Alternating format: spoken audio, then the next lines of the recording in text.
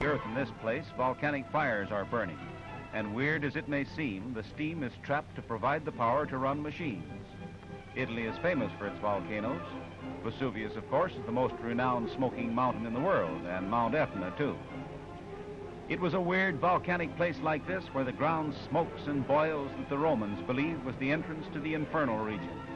But today, in this devil's cauldron, they're using the steam for power in factories. 600 feet into the air, the steam shoots roaring and hissing. And now let's go on to an industry that's old and famous and romantic. Marble. These are the world-famous marble quarries of Carrara. For many a long century, the very name Carrara has been symbolic with the art of sculpture. To these marble mountains, which gleam as white as snow, the great Michelangelo came to mine huge blocks for his giant masterpieces. They used to dig it out with chisels. Now they do it with dynamite. They're charging these mountains with 25 tons of high explosives. Here's one of the planters of dynamite. They're going to give us a blast worthy of the Duce himself. The red flag waves danger. Right in one grand blast. The whole side of the mountain is blown away. You would think a blast like that would pulverize the white stone into dust without a splinter big enough to carve the statue of a peanut, but not at all.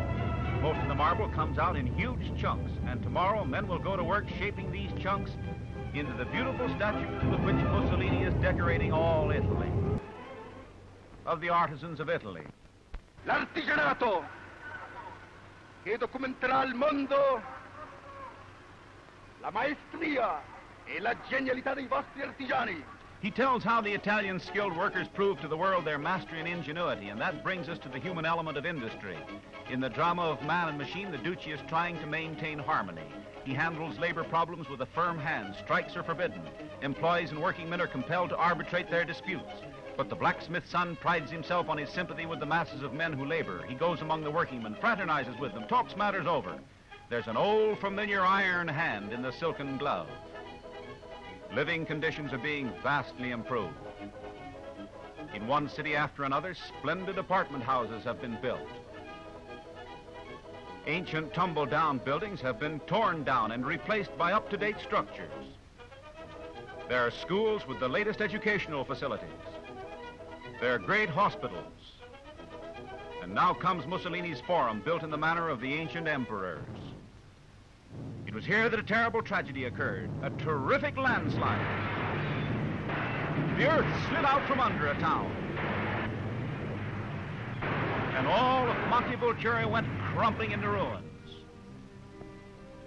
And what had been a fine old town of pleasant homes was just a jumble of mortar and stone and dust. And this was all that remained of the pleasant town of Montevulture. Instantly help came from Rome. Here's how they took care of the homeless. The survivors were housed in a city of tents. Yes, and these homeless children had to be taken care of, and the Red Cross was on the job night and day, just the way the Red Cross is in all lands. This is a time when a dictator comes in handy. Build a new town and make it fast, said Mussolini, and things began to hum. The task of building a new town gets underway in record time. Old walls are pulled down.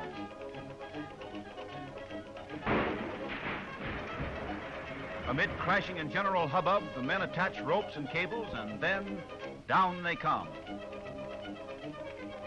The pace is mighty rapid. Armies of workmen in continuous shifts are laboring. Streets are laid out, not the old-fashioned twisted kind. They are laid out according to a modern plan of home building. Foundations are put up, stone and mortar are put together to make solid, enduring structures.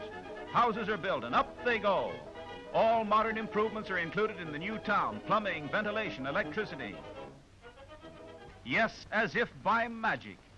Within 40 days of that catastrophe, mind you, only 40 days, with Mussolini driving them on, a new city was built near the flattened ruins of the old. The people move in. Children are playing and working. Bathtubs and indoor plumbing will be a good deal better than in the ancient town. And all is set for spaghetti dinners, vino, and christenings. And now let's hear Mussolini tell about the most important thing of all, agriculture. Prima di tutto l'agricoltura. che deve trovare sbocchi per i prodotti ubertosi delle vostre terre. The Duce emphasizes agriculture and also the markets for the produce from the fertile Italian fields, because most Italians are still on the land. In spite of the machine age, the country is mainly agricultural. The Duce himself comes from a country village, and in spite of his big town store clothes, he still knows how to pitch in and help the hired hands. This is his own farm, and it's a model of expert wheat cultivation.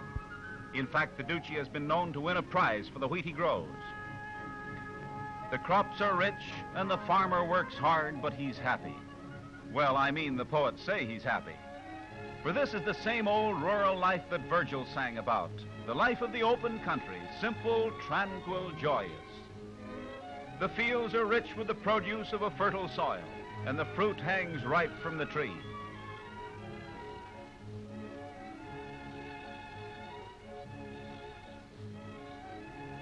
And of course, there are domestic animals everywhere in Italy. Longhorn cattle graze placidly, and there are flocks of woolly sheep among the hills. Mussolini has done much to improve the breed of horses in Italy, and the ground shakes as the thundering herd goes by. Here we see Farmer Mussolini taking it easy down by the railroad tracks, and when he spends the day on his farm, the mighty black shirt dictator throws aside the cares of government. He chats with the farmer folks, and you'd think he was a country boy once again, as he waves while the train goes by.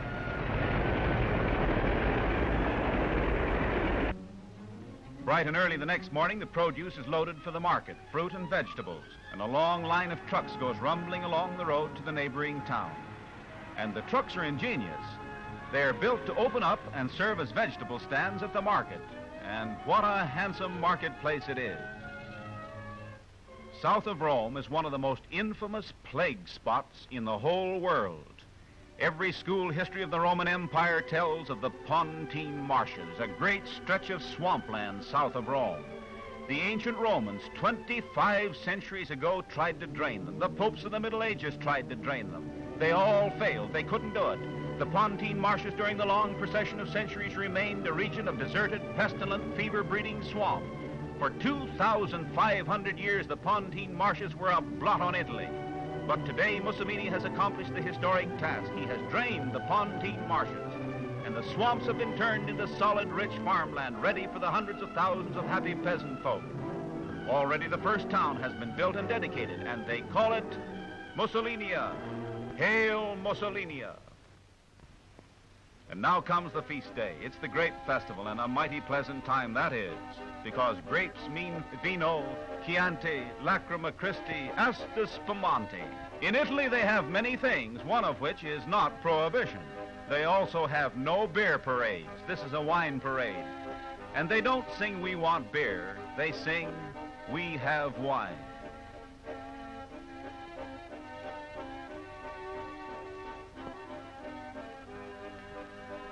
These are pleasant scenes, and it's no wonder the Duce boasts about the beautiful panorama of Italy.